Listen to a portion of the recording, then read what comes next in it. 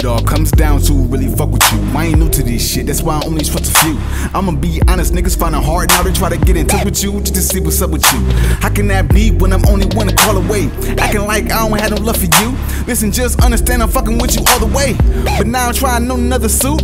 I remember back when we was younger, all of us would come together and start flipping on the dirty mattress, doing hella backflips, hooping every day of the week, going hard. We was younger, active.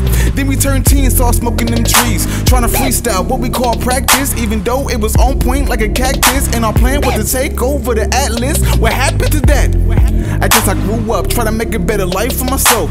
But you say I'm whack, cause I don't come around a lot. I'm just trying to get right with the will, do right for myself. Can't waste time and time, don't wait for nobody. Don't want y'all to help me out.